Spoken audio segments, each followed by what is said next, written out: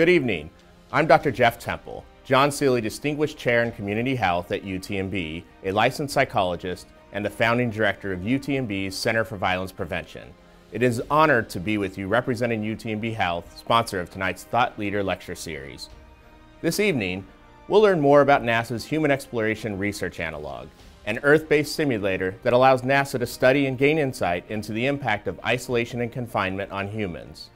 In space, like on Earth, complex and stressful situations can take their toll on the physical, mental, and emotional health of even the most well-trained astronaut or the most highly functioning family member. Just as NASA does with this amazing simulator, our research and clinical programs at UTMB work to understand mental health and the human mind and equip individuals for success.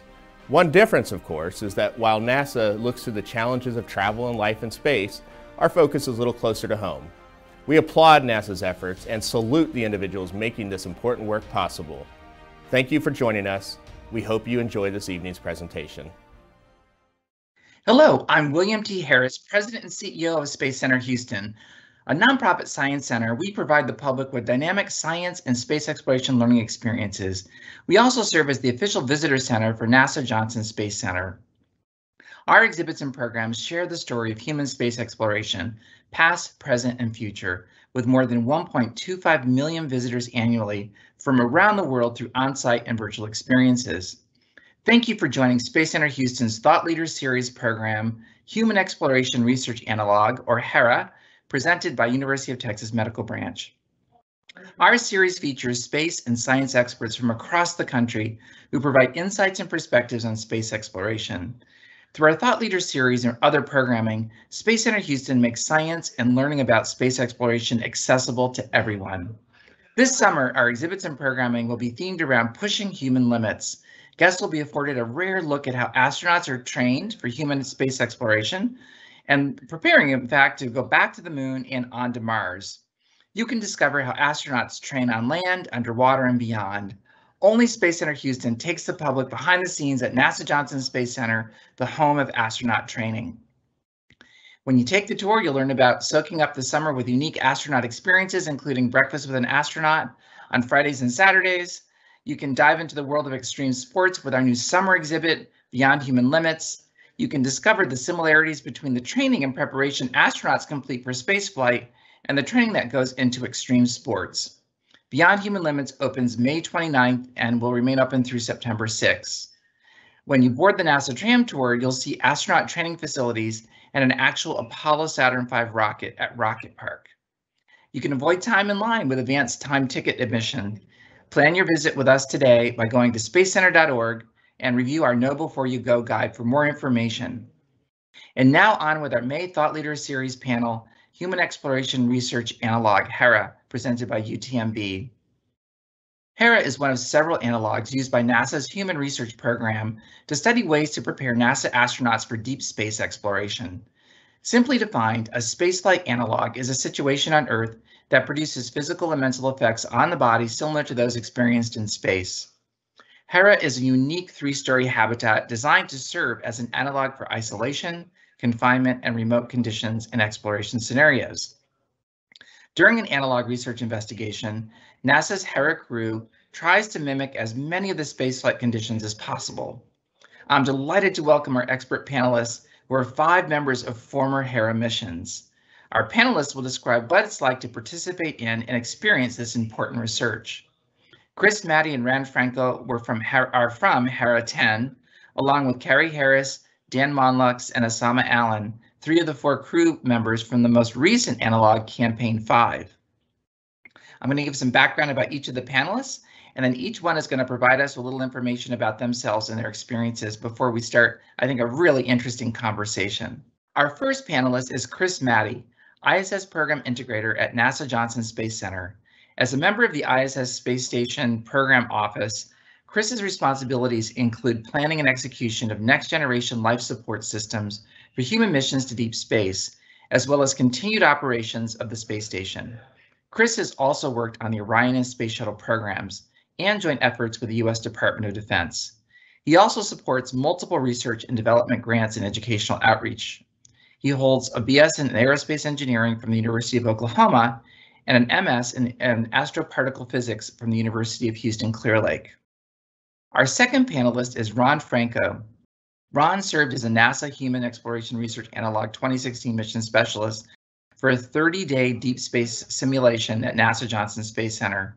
He's a retired U.S. Air Force pilot and a captain at American Airlines with more than 10,000 hours flight time in jetcraft. He served as a research simulation pilot for the Alternative Clearances experiment at NASA Langley in 2015. He graduated in astronautical engineering from the United States Air Force Academy and holds a Bachelor's of Science in Aerospace Engineering from Syracuse University.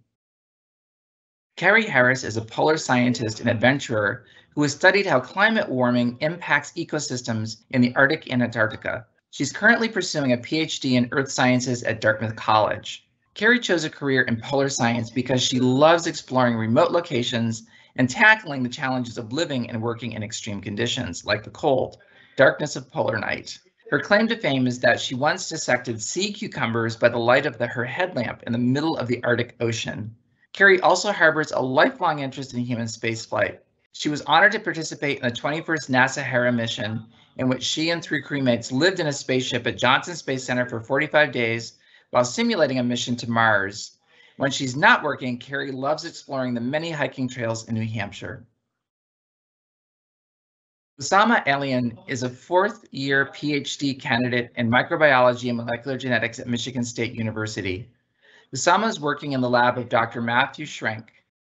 His research is centered around geomicrobiology and astrobiology, focus on understanding life in the deep biosphere and how it can inform the search for life in places such as Mars, Europa, Enceladus, and yet to be discovered worlds. Osama earned degrees in biology and art history. He's a frequent camper, road tripper, pilot, and skydiver. Our final panelist is Daniel Monlux. Dan is completing his residency training in aerospace medicine at the Navy Aerospace Medicine Institute. He was recently selected as the next senior medical officer of the USS Abraham Lincoln. He attended medical school at the Uniformed Services University of the Health Sciences, followed by family medicine residency training at Fort Belvoir Community Hospital. After further training as a naval flight surgeon, he was selected as aeromedical dual designator, which means pilot physician, and assigned to U.S. Naval Hospital Okinawa, where he served as department head for the branch medical clinic uh, and supported MCAS Futenma headquarters and headquarters squadron and Commander Fleet Activities Okinawa uh, pilots as a flight surgeon. Dan is a board certified in family medicine and will complete specialty training in aerospace medicine in June 2021. He's also a designed FAA aviation medical examiner and holds instructor qualifications for single engine, multi-engine, and instrument airplane flight.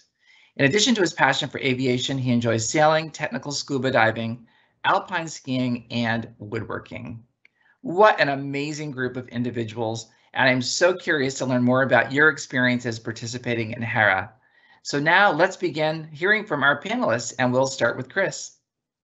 Thank you very much. Um, so I'm going to start a little bit with a general overview of HERA, um, what HERA is and kind of the background of what it's about. This is the um, HERA itself. You can see it's um, not much bigger than a trailer home, basically, a very small house.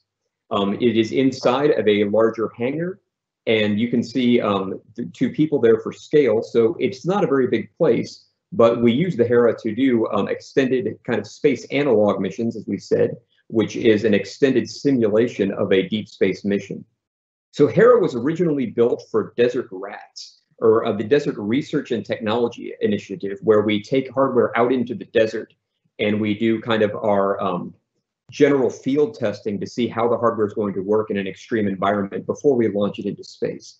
So as part of that, they built the Hera module and they used it out in the desert to see, kind of, again, kind of how it would work as a piece of space hardware. Um, after that, it was retired from Desert Rats, and now we use it in an aircraft hangar on site at NASA Johnson Space Center in Building 220. And that is where we perform the Hera missions. And so the Hera itself is about 148 um, cubic meters of internal volume. So again, the size of a small house, about 750 square feet.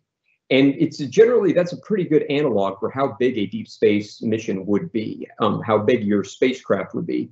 if we were going out to somewhere like Mars, somewhere like a cislunar um, halo orbiting type gateway air spacecraft, or if we were going out into deep space. And so um, it also contains, as part of that, for doing simulations, um, Hera contains all of the basic systems we would need, kind of analogs for our life support systems, our food systems, our guidance systems, the systems that you basically would drive a real spacecraft. And so this is the um, Hera 10 mission of which I was a part and Ron was a part. You can see um, me and Ron there in the middle. On the left is uh, Oscar Matthews, who works for the U.S. Navy. And on the right is Casey Stedman, who was formerly U.S. Air Force Reserve and now actually works in Huntsville at the Marshall Space Flight Center, um, supporting the ISS for payload operations. And then again, there in the background, you can see us there with the Hera, which we will all talk a bit more about. So for me, myself, um, I work here at the NASA Johnson Space Center in Houston, Texas, and I work on the International Space Station program. You can see that picture in the back there. That is a picture taken from the ISS. I always love that view of Earth. Um, you can see in the middle there, you can see kind of a thunderhead, that cloud that's going kind of up toward the sky. There's a rather big storm there right in the middle. And then you can also see the very thin layer of atmosphere off on the horizon there, which that's, you know, all that's protecting us and allowing life to thrive on here on the planet Earth. A little bit about myself. Um, I am originally from Middle Tennessee, uh, from a very small town called Winchester, near a very large Air Force base called Arnold Air Force Base that's actually by that lake down there in the middle bottom of Tennessee.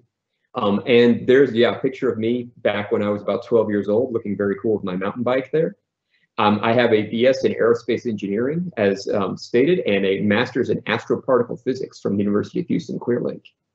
I currently work on the International Space Station program. I have previously worked on the Space Shuttle and Orion programs.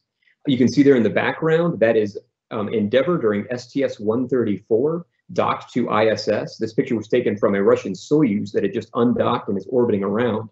And I specialized in environmental control and life support. So these are the systems that clean the air, the systems that clean the water, the systems that also measure the air in the water to let you know how good of a job you're doing at cleaning it. Um, you can see two of the crew members there um, working on one of my systems, the CDRA, the carbon dioxide removal assembly, which is the system that removes carbon dioxide, the carbon dioxide that we humans breathe out while you're on board the spaceship. I also do field mass spectrometry, remote sensing, and trace contaminant removal, which is um, as a human being, your body puts out a lot of different metabolic products. And we have to scrub those out of the atmosphere again to make sure that the atmosphere is very clean and nice to breathe. And in part of that, I also do design and implementation of next generation planning for how we're going to do that through deep space, how we're going to do that in what we call cislunar space, the space between Earth and the moon, and how we're potentially going to do that out to Mars and living on the surface of Mars. Just a little bit of the many personal interests that I have. Um, I am a PADI dive master. I specialized in 12 um, specialized forms of diving and technical diving, including ice diving. You can see that picture there is um, us under about two feet of ice in Banff, Canada. Um, I run a lot. I have done a bunch of marathons and half marathons. I'm also a private pilot. Uh, you can see a picture taken there from me in a sailplane, a glider over Texas there.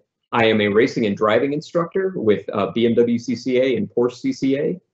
And I also like building and taking apart pretty much everything. So you can see pretty much, um, you can see several pictures of things I'm working on there. Uh, there's a car engine in the middle there, um, a bicycle shock absorber in the uh, one of the other pictures.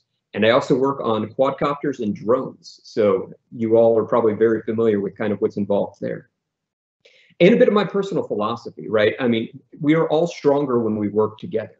And as part of that, it's knowing that, you know, there's really nothing you can't do. Um, the world was not built by atomic supermen, right? The world was built by people just like you. And anything that they know, you can know if you're willing to put in the time and effort to learn it. And similarly, any large system or any big effort or goal that you see and you think, wow, that is really great. You can do that too. You know, any uh, any idea you have, anything you see out there, only exists because somebody envisioned a goal bigger than themselves and thought, you know, went about building a team and working together to work to achieve that goal. And so, you know, absolutely, really anything you want to do, the sky and space is the limit. And with that, thank you very much just fascinating, very interesting background. I can't wait till we get to the Q&A. I think I'm going to feel that way about all of you. Our next speaker is Ron Franco. Well, thank you very much for that introduction, Chris, and uh, it's nice to virtually see you again. Um, although Chris and I have several uh, common interests, I came to Hera from a very unique background compared to some of the contemporaries. I actually grew up during the Apollo missions. Um, as a matter of fact, I, I don't remember the first man on the moon, but I do remember my seventh surprise birthday where they got me to come into the house by saying, Hey, Ronald, an astronaut's hitting a golf ball on the moon.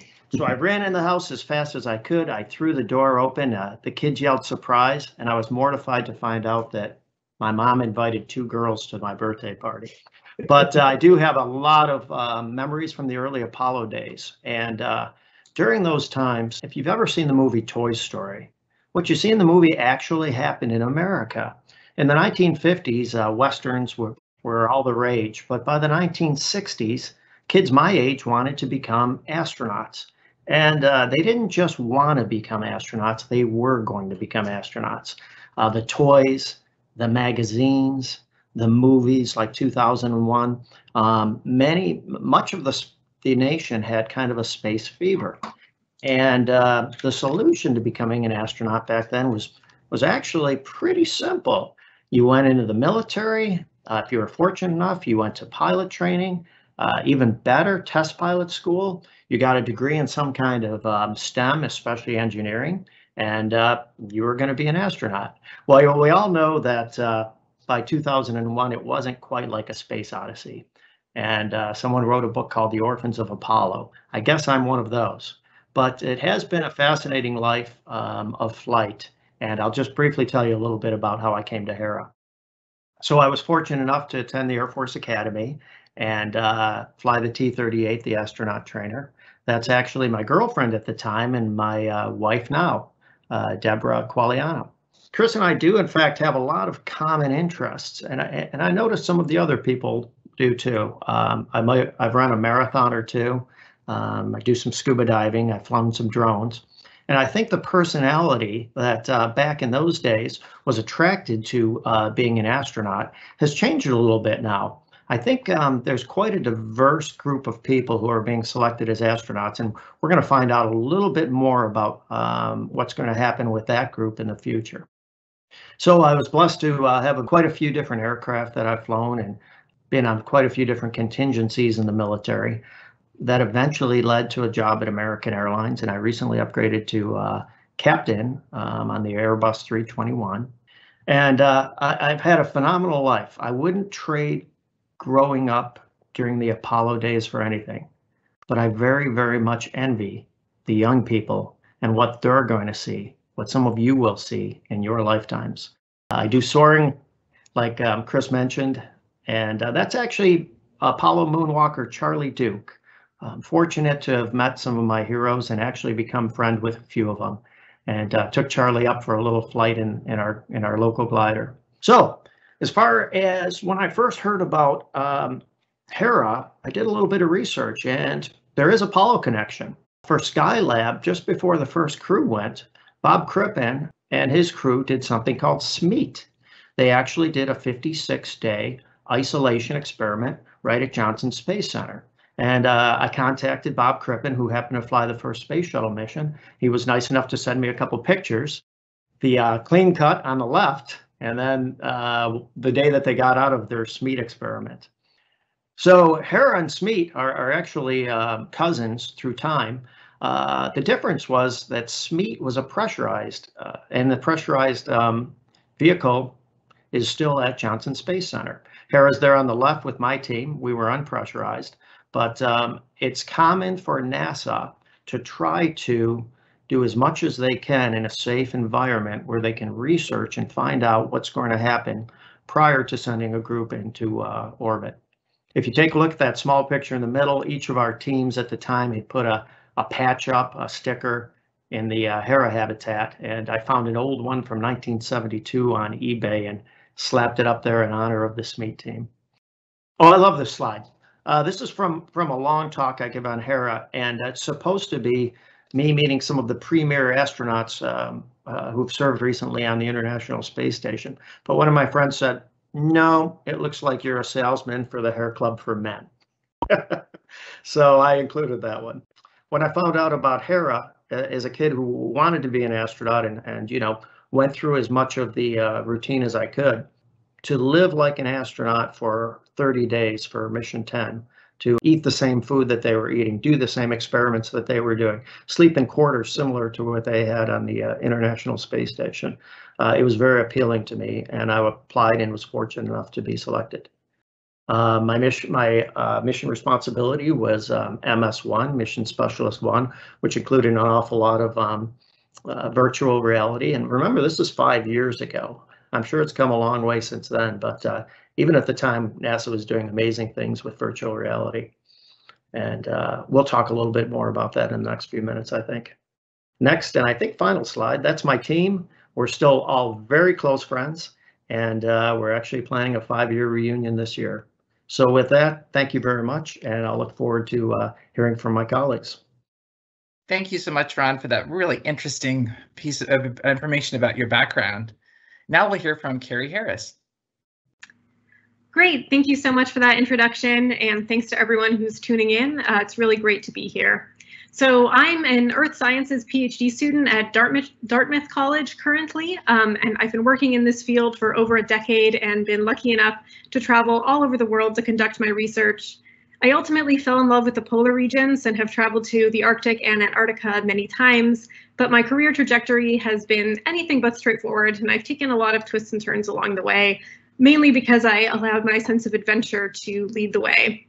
Uh, so I want to back up to the beginning to tell you the story of how I got to where I am today. So this is me and my sisters when I'm eight years old. I'm the one in the solar system sweatshirt, and as a kid, I really wanted to become an astronaut. I loved looking at the night sky and talking to my dad about black holes, and I was really attracted to the enormity of the challenge to live and work in space. Um, but when I got to college in coastal Maine, uh, I really fell in love with marine science. And I started to take a lot of classes about coastal ecosystems and learned about the ocean and all the strange animals that live there. And I realized that there are a lot of places left to be explored here on Earth. So when I was 22, I got the opportunity to go to the Arctic for the first time as a research assistant studying lakes and marine environments in Arctic Alaska. And this was my first taste of doing scientific fieldwork in a remote and isolated place. Uh, we traveled by helicopter from lake to lake, where we carried an inflatable raft on backpacks and would inflate it and paddle it out to the middle of lakes to collect our samples, and I was just immediately hooked. The following year, I returned to Arctic Alaska again, this time to start my master's degree with the University of Texas at Austin, where I studied uh, food web connections in the coastal Arctic Ocean. And the landscape was just incredible. I was so taken by the gray icy waters that had um, you know ice floes and uh, icebergs that ranged anywhere from the size of my hand to the size of my house. Um, and the scientific questions that we were trying to answer were also really um, interesting to me. And it was basically a race to characterize and understand these fragile ecosystems before they're permanently altered by climate warming.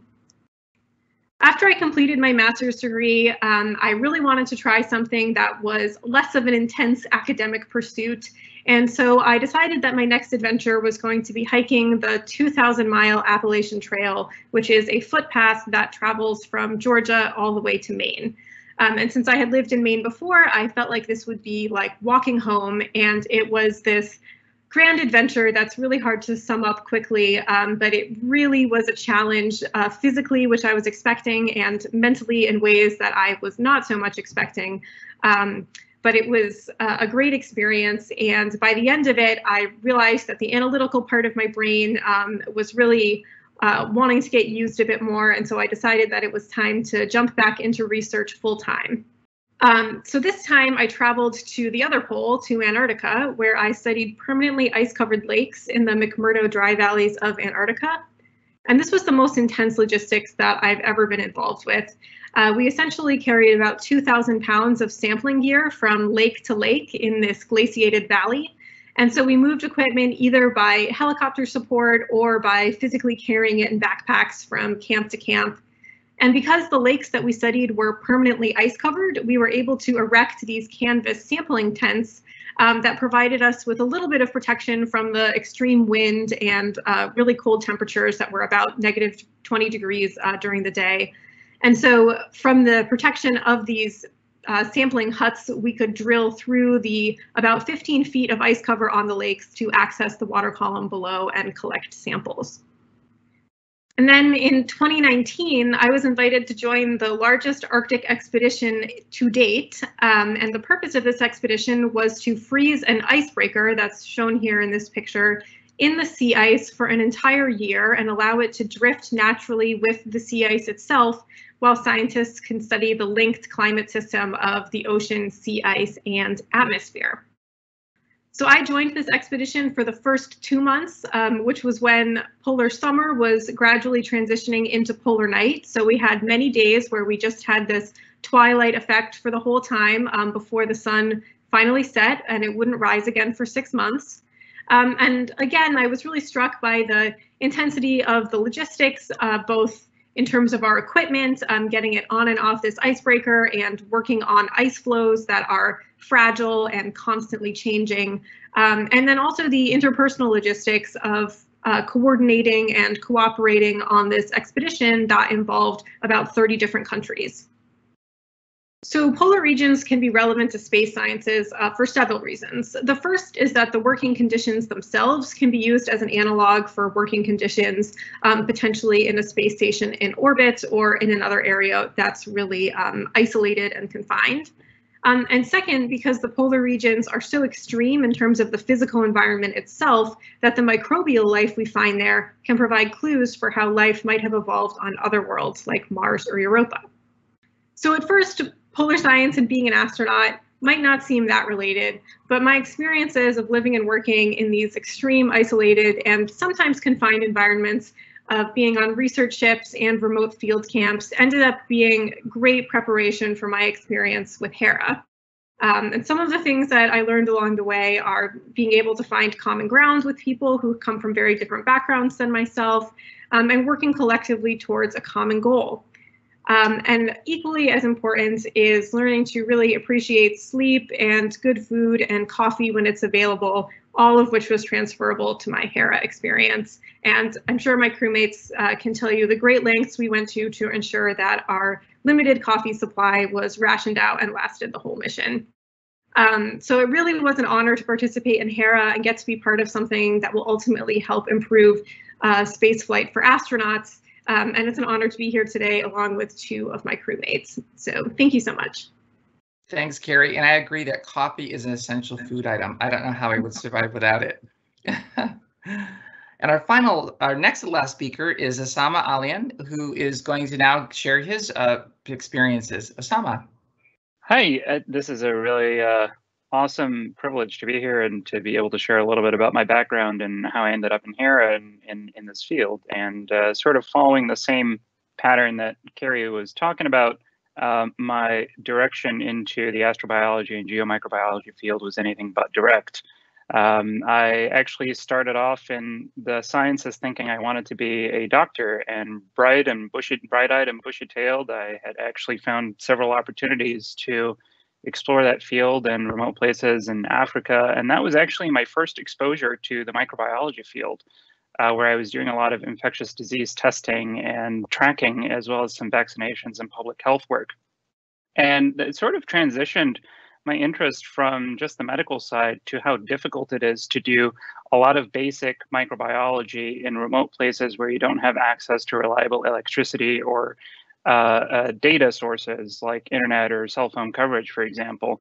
And I found that challenge uncomfortable and exciting at the same time, as well as sort of opening up opening up my idea of what I could do with science. These pictures uh, from are from around 2008 when I sort of started doing this experience.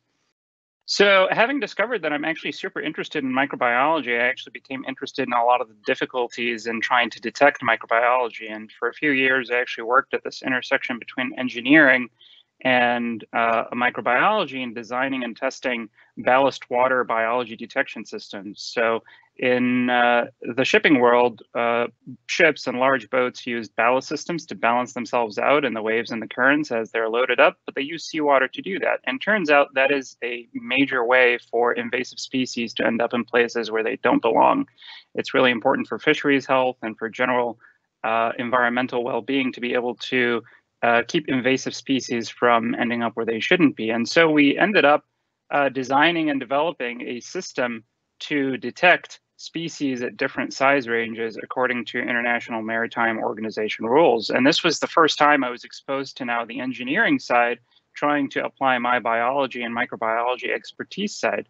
And it involved sort of being uncomfortable with how much I don't know and learning how to be comfortable with getting skills that uh, are not necessarily in my previous repertoire. And that was particularly exciting in terms of my intellectual growth and in terms of being able to sort of combine all these unrelated different skill sets that I've had.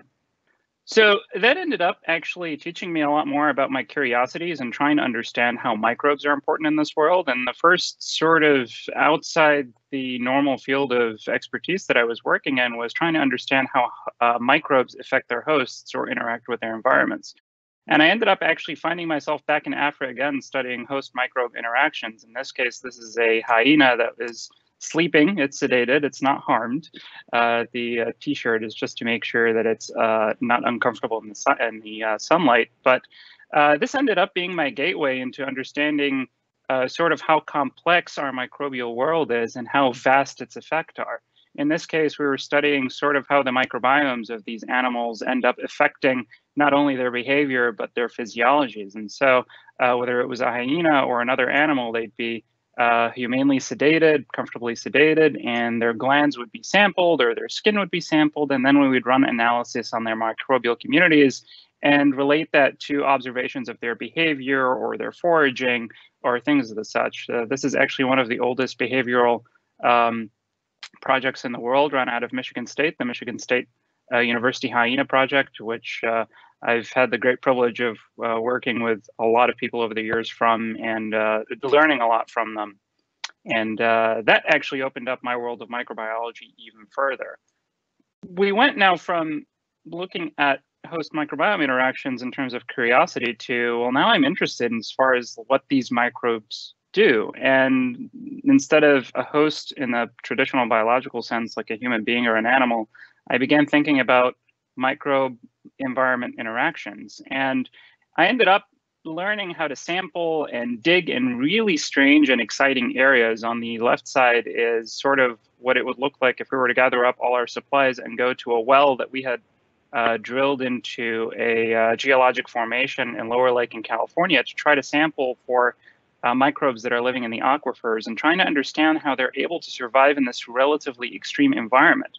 And this is not dissimilar from what would happen if we had astronauts on the ground on Mars or on the moon trying to sample subsurface environments and trying to understand the chemistry and biology if there's biology there. And it's kind of cool to do that because some of these formations actually look very much like Mars. This was a serpentinite formation on the lower right hand corner, which is essentially what we were drilling into underneath uh, the, the subsurface there. But I've also taken my research to the ocean uh, deep in the middle of the Atlantic, and we've had to use remote vehicles to also sample some of that uh, fluids and microbiology from these really cool carbonate formations. And I think this is actually the most exciting aspect of my work because, as opposed to packing a car and road tripping to the middle of nowhere to try to sample, we have to work with a very collaborative team get on a ship and use remotely operated vehicles and equipment to sample uh, uh, sites that are deep below the ocean, some, some of them that were accidentally discovered. For my research project, we heavily rely on uh, uh, the remotely operated vehicle Jason to be able to sample those environments. And this is very analogous to what we do now in terms of projects like Mars Curiosity or Mars Perseverance, where we have to learn how to sample and what kind of science to run from hundreds or thousands or millions of miles away and be able to reproduce that science. My favorite thing to tell some folks that is uh, that it took us longer to get to my field study site in the middle of the Atlantic than it took for the astronauts to go to the moon and come back, and we had to do it dodging hurricanes, which was a very exciting uh, experience. But as you could tell from the lower left corner there, this is a team environment that does not look dissimilar from Mission Control Center in Houston or uh, the Operations Center at Jet Propulsion Lab. And it's a great analog environment for trying to proof how we run our research uh, experiences and projects remotely and technically. And it's also a great test bed for testing equipment that we would like to send to other worlds. And to tie it all together, uh, all these field sites and all these locations that I sampled host a specific type of chemical reaction that we think is actually fairly common. So we're not just trying to understand biology in random locations, we're trying to understand biology that we've detected that lives purely off of a chemical reaction between water and rock that we think is actually a lot more common in the universe. And we think it may have happened on early Earth way before we've showed up. Uh, these chemical reactions we think are happening in the subsurface of Mars. We think they're definitely happening in the subsurface oceans of Europa. And we know for a fact that, at least as far as my study site is concerned, the Cassini probe was able to detect almost the exact same chemistry uh, emanating from plumes shooting out into space from Enceladus. So, what we learn in these analog environments on Earth is helping lay down the framework for what we would like to ask in terms of research questions and what equipment and techniques we would like to be to develop in order to sample uh, these other worlds. But when I'm not in the lab or teaching, uh, I am a crazy uh, hunter of uncomfortable things. My wonderful wife, who's incredibly patient with me, likes to say that if it's uncomfortable and she'll hate it, I'll probably do it. Uh, I've been flying for almost 20 years and I've been in a large number of, of aircraft and jets, which I feel very privileged to do. And I've been skydiving for almost 10 years, which seems like the natural progression from flying them. But when I'm not in the air, I'm probably on the road somewhere trying to get away. I think before we were remotely working, I became an expert into trying to figure out a way to remote work from a remote campsite in the middle of the American Southwest.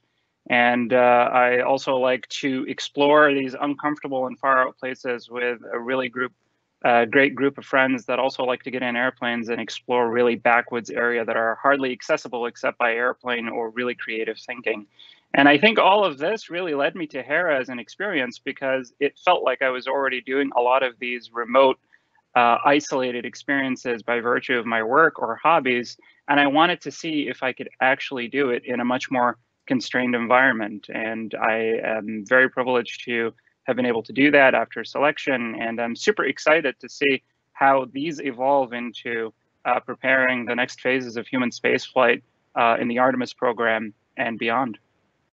And uh, that's it for me.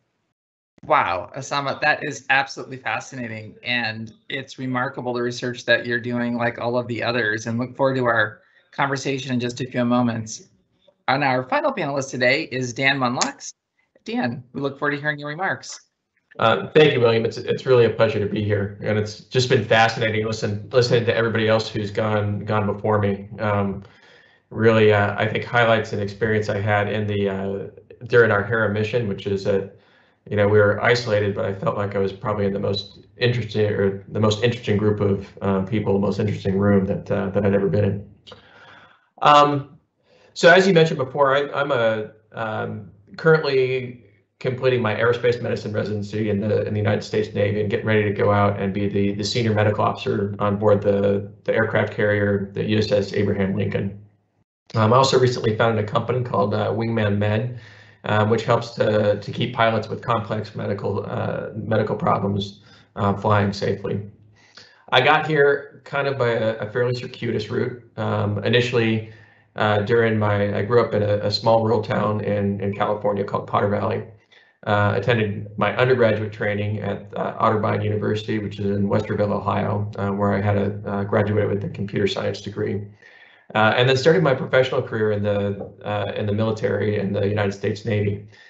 This this first picture is um, is the F-18 that I flew um, along with uh, several other uh, the other uh, pilots in my squadron in support of um, operations Southern Watch and Iraqi Freedom back in, in the initial phases of that conflict. Uh, and here we are during that same deployment. Uh, the, the aircraft carrier Kitty Hawk uh, that has since been retired.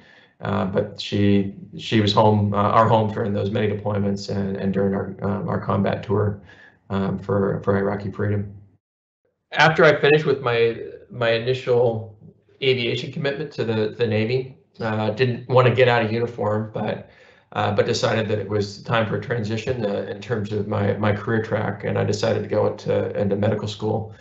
I attended medical school starting in 2008 at the Uniformed Services University.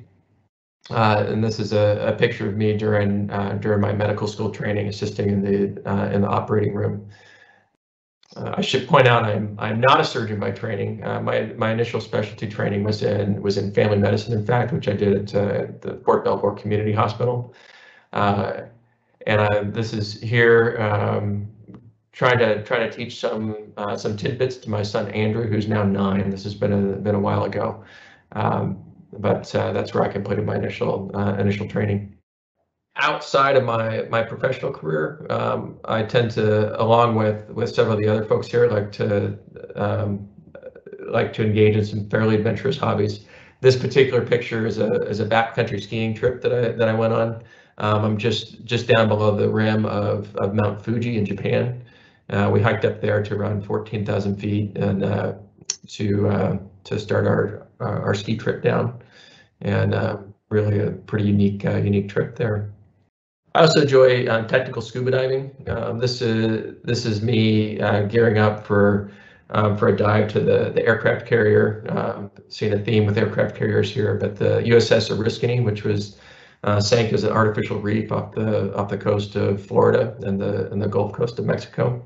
Um, its keel lays in about 220 or 230 feet of, uh, of seawater and it's a really really unique, exciting dive. I think something that drew me to to HERA is um, through my aviation career in in single seat tactical airplanes, um, and in medicine where uh, you're often making decisions kind of um, I think people perceive on your on your own, or in the backcountry or in scuba diving, you're you're really uh, certainly self reliance is important, but really it's working with teams and relationships with the people around you that become sort of the most important aspect of, uh, of any of those activities. Um, and so this is, you know, though I go flying in a single seat airplane, um, in aviation, we always fly with a wingman. And this is a, a good friend of mine, Chris Smith, who's um, since separated from the Navy and has gone to business school and has uh, moved on with uh, with his life. But um, but certainly you know, critical to our mission accomplishment and uh, the success of our flights back when I was flying. Uh, but not just a wingman, a whole squadron. And this this happens to be the the officers in our um, again this is aboard our, our combat cruise back in 2000 um, uh, oh, shoot 2003 I guess it was. But uh, you know the this is the officers and the pilots pictured here. But there's you know there's an organization of two 300 people that maintain the airplanes. You know inside of a larger air wing aboard a larger um, aircraft carrier, and of course the whole um, you know uh, U.S. Navy organization that goes into supporting the the single airplane launched off the front of the ship. Same thing holds true with scuba diving. Um, you know, as you explore these uh, kind of austere environments and very isolated places, uh, you can't go without a buddy or the surface crew who's tending to your um, to your needs while you're underwater.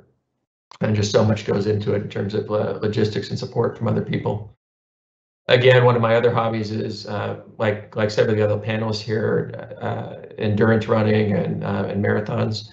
Uh, during this COVID isolation, my my friend Landon McKinley and I uh, trained for a, an ultra marathon, and uh, and all of the long training miles and dedication to that, I think would have been fairly well impossible on my own. I might have been able to do it, but certainly much easier with you know with the support of a training partner and and the the relationship that we developed there and so comes HERA. Um, and this is, um, you know, I think similar to what some of the other panelists have mentioned, I think the I was just drawn to it to see what it would be like to interact with um, such a small group of people for such a long period of time, and um, and how those dynamics would change. Because I know that you know to do anything worthwhile, it's really so dependent on on your team members and the relationships and when those relationships are strained, as I'm, you know, as I was sure they would be during a during a mission such as the the one we were going on. Um, just how those dynamics change and how it affects mission accomplishment. Uh, you know, I'm happy to say I thought we worked incredibly well during the course of the um, the the six weeks together. We didn't really run into any any big conflicts, and I, I was happy to to say that I think we we really remained uh, yeah, main, maintained an effective team relationship throughout the throughout the whole mission. Uh, but this this picture really just to to kind of highlight some of the stressors. Not only are we, you know, um, isolated with each other inside of a really small um, a, a, small amount of real estate, you know, 700 square feet or so. Um, but then during some of the mission scenarios, we're corralled even closer together. Um, and this is when we're isolated together with, uh, you know, kind of some uncomfortable gear, standing shoulder to shoulder for um, shoulder to shoulder for for kind of an extended period for one of the uh, the simulated emergencies that we had to deal with during the during the mission.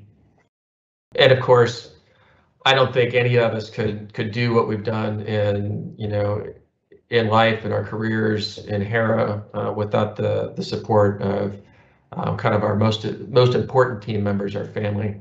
Uh, and this is this is a picture of our my family waiting for me. Uh, my wife Christine, uh, stepdaughter Liz, and and son Andrew. Um, after not seeing me for you know for six weeks, and just uh, you know, I think we are all uh, they were supportive throughout the whole thing, but I think we're certainly glad to be uh, reunited at the end. Um, and that to me was um, certainly lots of great um, great parts about HERA. Uh, learned a lot about myself. Learned a lot about my teammates. Uh, learned a lot about analog missions. But um, but to me, what makes it really all worth it is the my most important team there, um, my my family at the end, and what a great feeling to have their support and uh, and be back together with them at the end. With that, I look forward to the the question and answer period. Great, Dan. Thank you so much. What fascinating backgrounds you all live, and you live incredibly active and full lives, and very, very impressive in all that what that you're pursuing. So my first question is, how did you carve out um, all of this time from your life to participate in the HERA project? Um, what what motivated you to want to do this? I mean, Osama, you touched on it a little bit, and and so did Dan. But I'm kind of curious from all of you, how did you set aside 30 to 45 days to participate in this program? Uh, that's a great question. I'll, I'll go ahead and and, um, and answer first. Um, I found out that about this experiment a year or two before before I was selected as a crew member, and I was just so fascinated by it. I really didn't ask permission or try to coordinate anything. I just applied and figured if uh, you know if I was lucky enough to be selected, that I would kind of sort out the logistics on the on the backside. Um, as it so happened, I was I was enrolled in the aerospace medicine residency here at the uh, the Naval Air, Naval Medicine um, Institute in Pensacola, and um, and when I was selected, they were just super supportive of the of the idea. I think it's it's very closely related to the study of aerospace medicine, which really focuses on sort of normal human physiology and um, and psychology in abnormal environments. And so it really dovetailed nicely with my field of study and just kind of, um, you know, was lucky enough that those those two things, my eligibility for HERA and my training program lined up. Yeah, and for me, um, here, you know, at the NASA Johnson Space Center, obviously, uh, human spaceflight is what we do. So um, having, you know, designed these systems, work with these systems on a daily basis, both here on the ground when we're designing and building them, and then going into space and doing the space operations with them. It really gave me an opportunity to see these systems kind of from the other perspective, right? As a user, as somebody who's actually, you know, going into the environment with the systems rather than from the perspective of the person who's building, designing and building the systems. So that really gave me a much more rounded perspective on all that. And it was really a very great experience. And so as part of that, again, um, you know, it did dovetail into kind of my career here at Johnson Space Center and the work that I do. But it was, as you say, it was a kind of a big part of time to, you know, carve out of your schedule and out of your life. And that is something that requires a lot of coordination and a lot of work with your family and with your working team members as well. It's, I love this question because it's not just how did we carve it out, but how did we carve it out with our families, like Chris just alluded to. And uh, from a personal perspective, when I went to American Airlines and said, hey, look, I, I need a couple months off on paid leave, um, they initially got a little bit of flack. We were in May and June, and it's a very busy time for us. And uh, my chief pilot went to bat and he said, if if uh, Franco can end up supporting the space program directly, by golly, we're behind him 100%. And uh, on the family perspective, Deborah and I met in junior high school. So she's gone through this with me from basically day one. And uh, she thought, you know, you know, if you can help the space program in any way, I'm behind you 100%, and, and my kids were too. And uh, I think in, uh, in in my case, so as a graduate student, um, uh, I'm looking forward to also Carrie's perspective on this.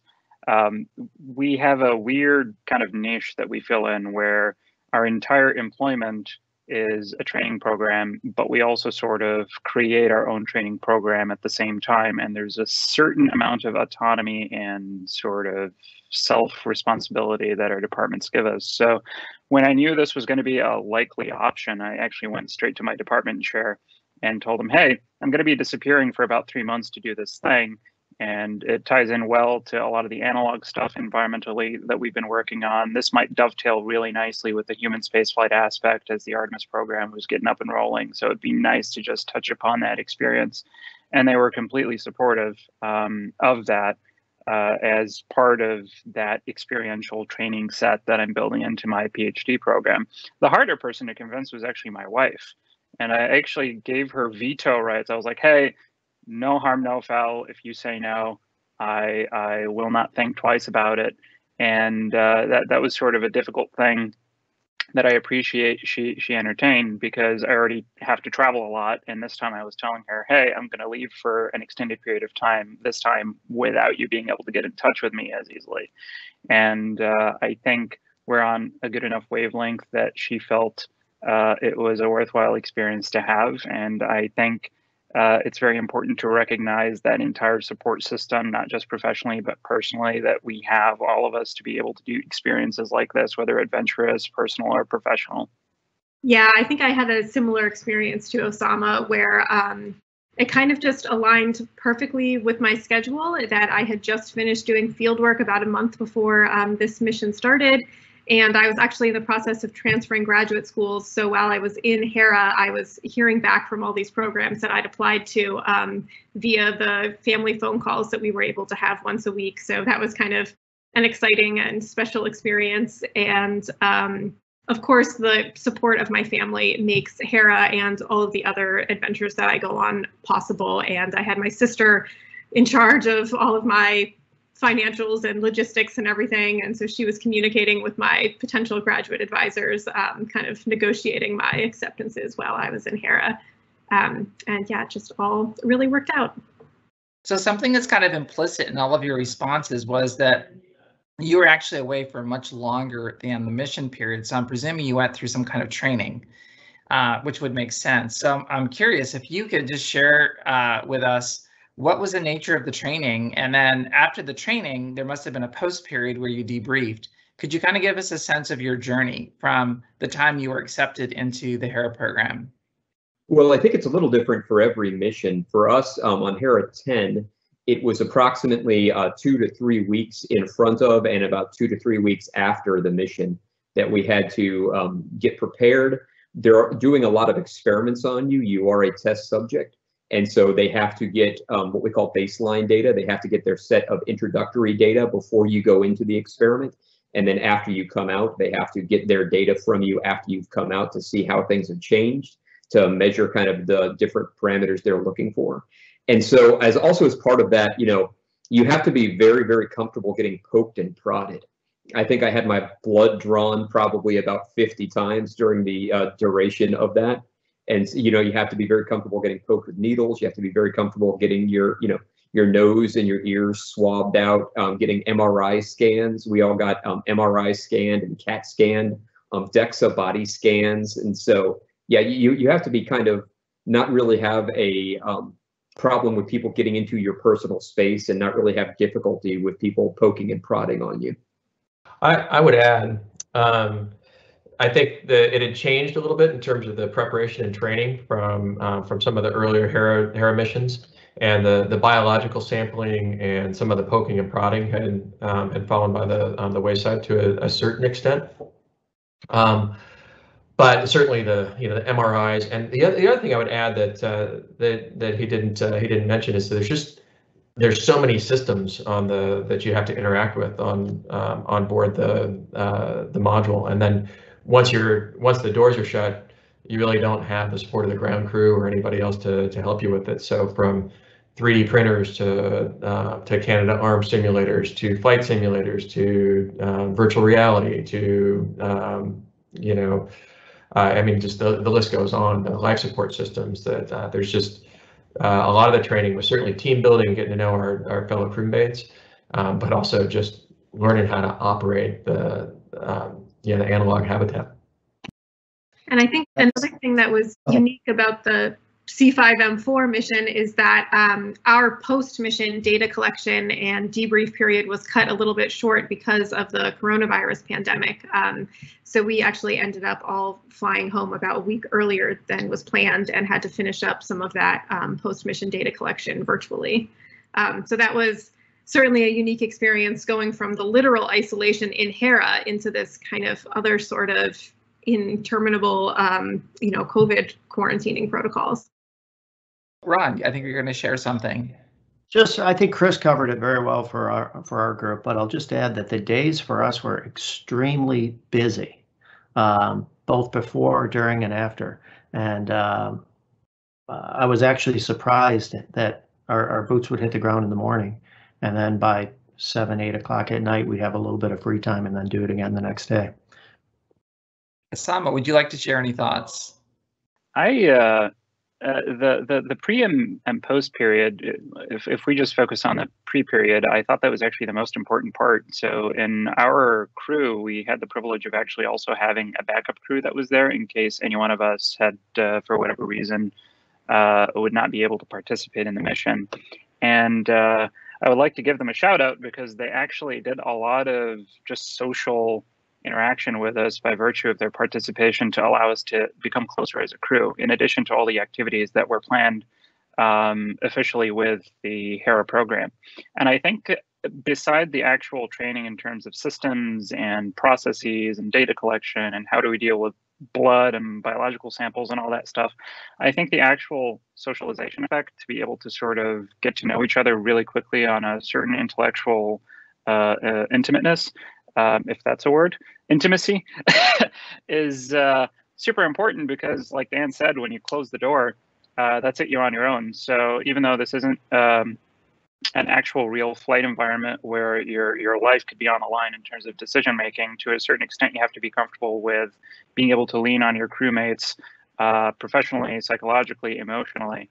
Uh, I think uh, being able to have that in the pre-mission was super important as far as their effectiveness in mission as and how comfortable we were working with each other and sort of delegating responsibility and shifting responsibilities uh, throughout and i think the post-mission was super interesting because after we came out of the HERA experience our families thankfully were able to come in and, and greet us as we left but because of the truncated pandemic situation that we were in um, we ended up with such busy schedules and we were so anxious to hang out with our families that that was sort of a stressor uh, that uh, we we weren't necessarily prepared for. So it was sort of an interesting transition into the pandemic and sort of our own reactions to wanting to be with our families after not seeing them for 45 days. Uh, that I uh, just kind of sticks out in, in in my mind, but I wanted to highlight the importance of of that social aspect uh, pre-mission. So I'm curious. I know that one of the big goals of HERA is to understand how a crew is going to relate to one another during this period of being together because you didn't choose to be together, right? You were selected to be part of this cohort and you all had to get to know each other in a really intensive way and understand that you had to collaborate because the essential thing in space travel is you have to be able to be a leader, but you have to be a follower and you have to be able to uh, really integrate and support the crew because it's the team that enables the survival of everyone if something goes wrong or kaflooey. Were you aware of particular challenges or things that may have been designed not to go well or correctly that challenged your individual duties or team duties as part of the Harris project or experience for, for each of your crews?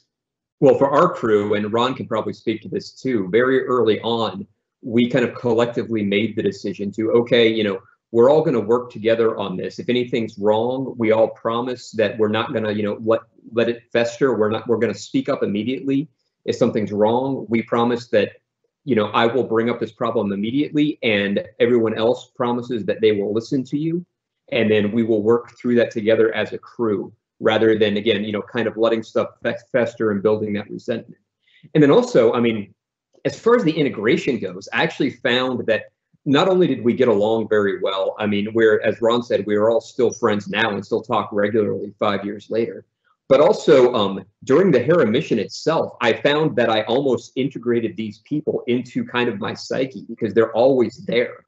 And so you get very used to, you know, I know what Ron's going to think about this. I know what Casey's going to think. I know what Oscar's going to think almost before, you know, without even asking. And for a couple weeks after the, after the fact, I found myself kind of just going, oh, "Hey, Ron, oh right, Ron's not here anymore." And so that aspect of it is kind of weird because, especially when you come out, you it's kind of losing, you know, a piece of yourself or losing like very close family members that you were on this mission with.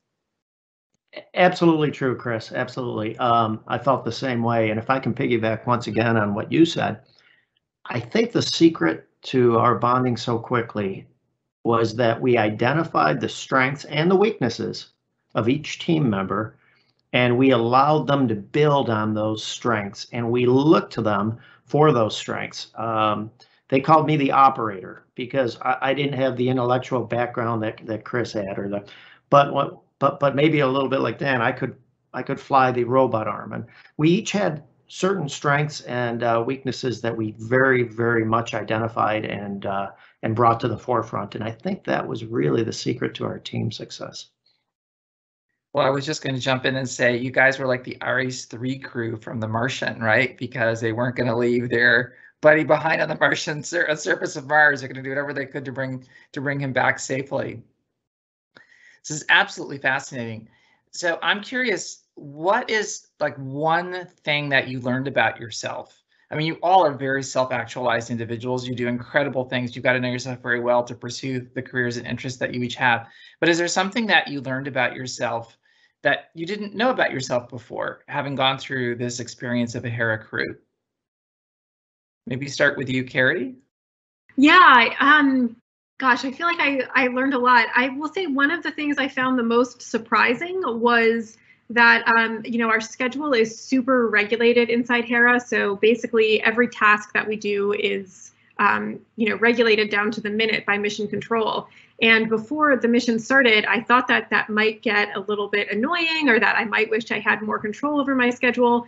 But for at least the six weeks that we were in there, I actually found it to be super relaxing to just not have to make that kind of um, decision and to just know exactly what I was supposed to be doing every minute of the day. And many of the activities that we did had some sort of metric associated with them. So not only did you know when to do them, but you knew if you were doing them well and uh, how to improve if you weren't doing them well. And um, kind of going along with your other question, um, another thing I learned was in my mission, I was the only non-pilot uh, crew member, and we did a lot of flight simulations. And so it was just so great to get um, so many tips from Osama and Dan on how to do those better. And it was really uh, a fun challenge to progress at those uh, throughout the mission.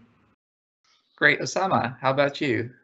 Uh, actually, to piggyback off of what Carrie said, um, one of the interesting things was um, that I noticed about how we were operating as a crew is we didn't necessarily openly talk about issues or challenges. We just sort of naturally uh, worked on them together collaboratively, which I thought was super cool. So each one of us brought our own strengths and weaknesses uh, to the mission, and uh, depending on how the mission was proceeding or what activity we were working with, uh, each person's strength sort of shined and everybody sort of collected around that. And that was sort of rotating throughout uh, the crew uh, overall, and that helped to complete our mission objectives. I thought that was super cool.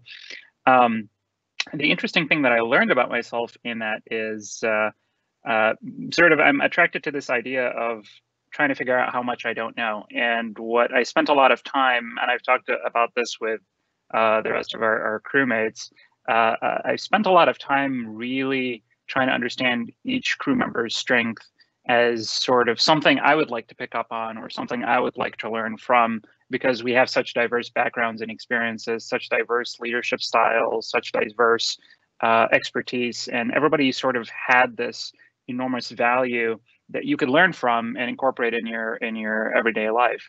And uh, I, I, thought that was sort of a very interesting product of being in isolation with three other uh, exceptionally bright, uh, awesome individuals who I think are far more intelligent than I am.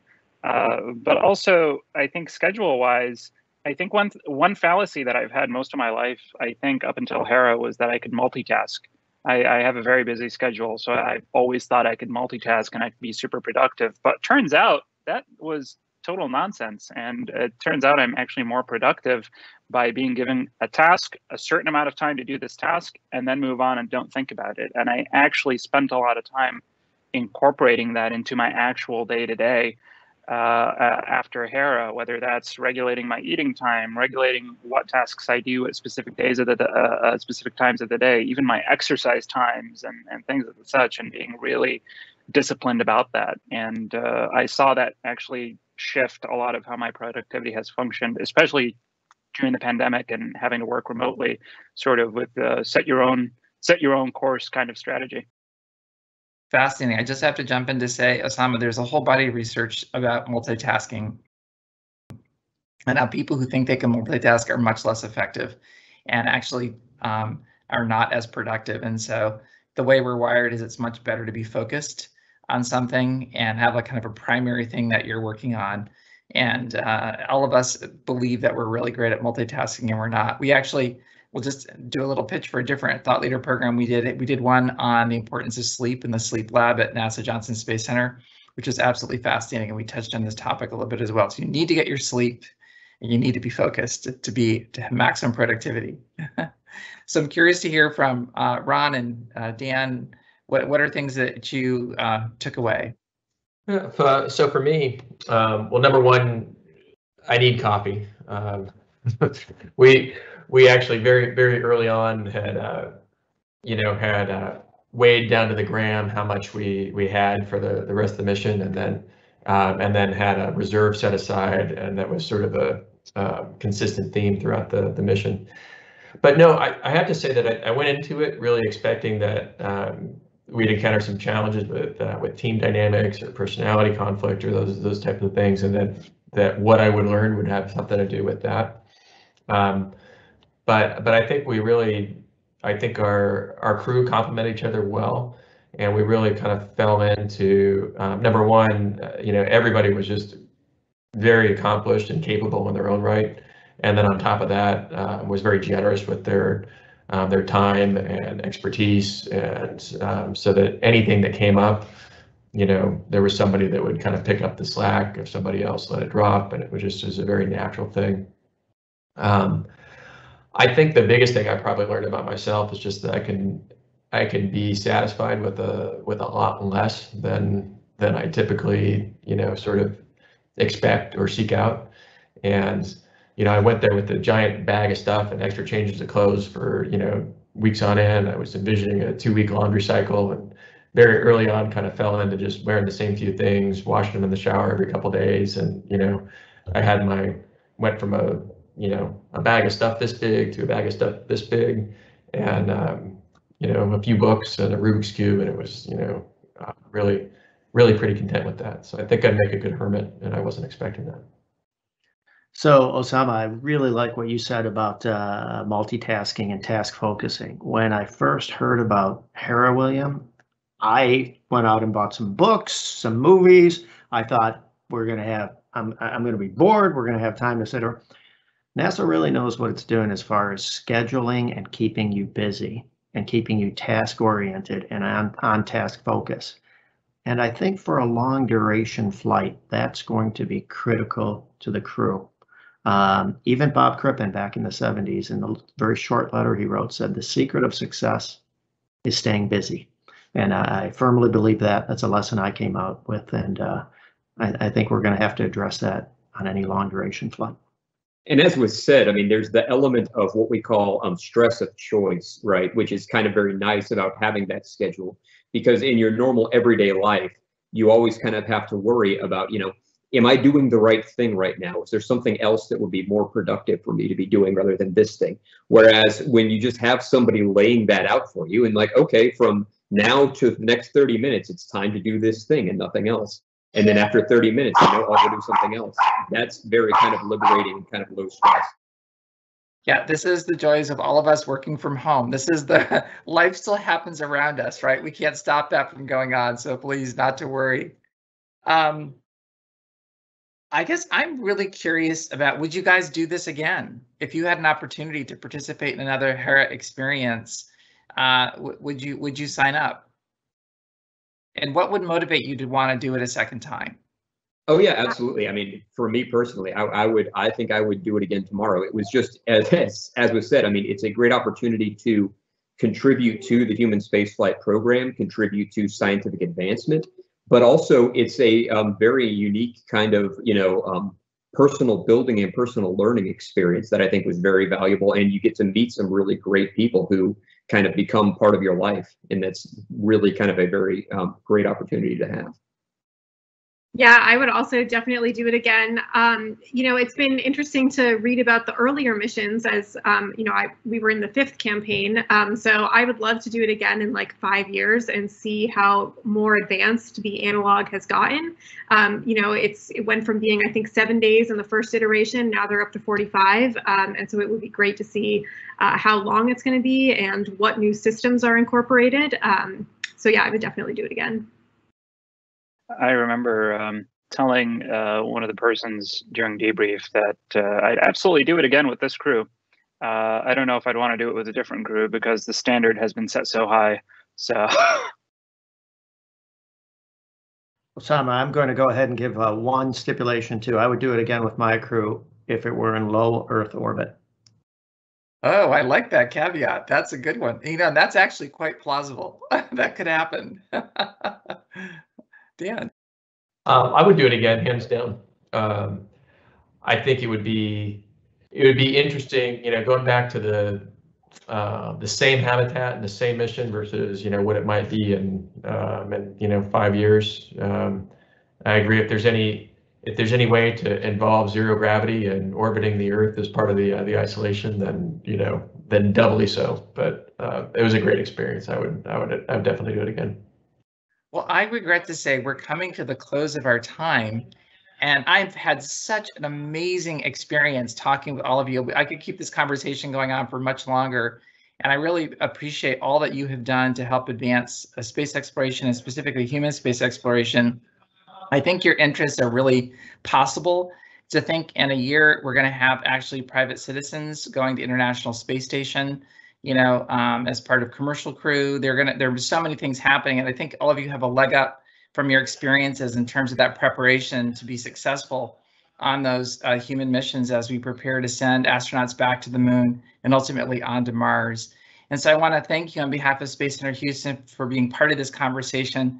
We hope to have you back again in the future to hear your further reflections and uh, thank our audience for joining us today for our Thought Leader series on Hera. Thank you so much. Have a great day.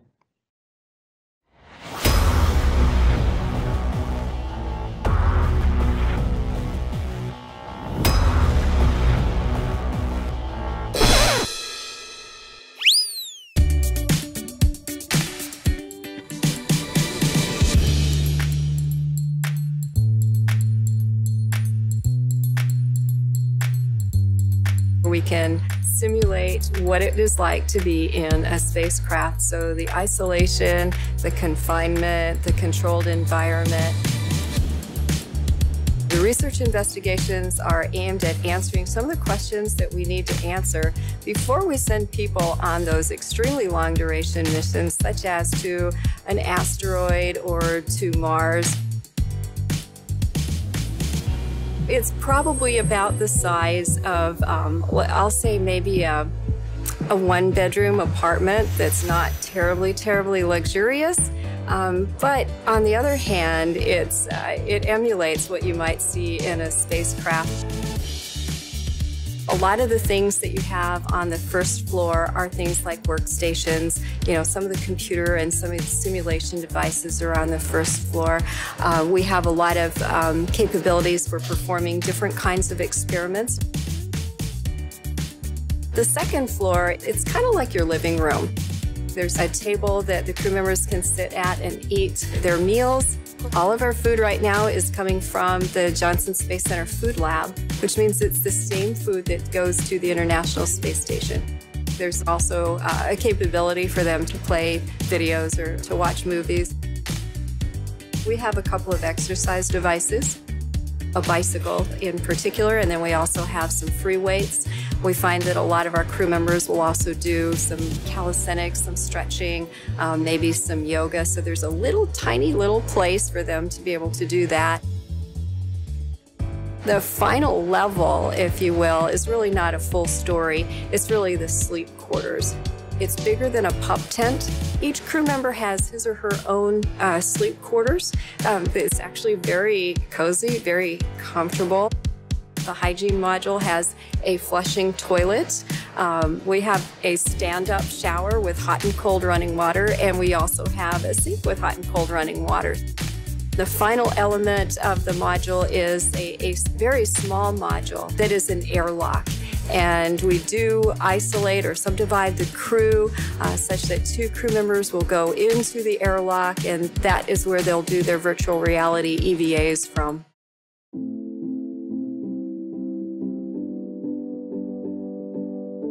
I'm excited for the challenge. I love a good challenge. I'm a professor at Grand Valley State University. I, I, teach biology. I feel like I'm actually playing, it's a small role, but it's, it's a real, tangible, important role in getting people to Mars. The first thing I saw about this was on a Facebook posting, and a couple of former Hera crew people had posted that they were they had just come out. I didn't think I would be selected, and you know, I just kind of did it on a lark, and it worked out awesome. They are measuring us in more ways than I could have imagined. We've given a lot of biological samples of various types. They're measuring our heart rate, our brain waves. They're doing a tremendously large number of psychological tests on us.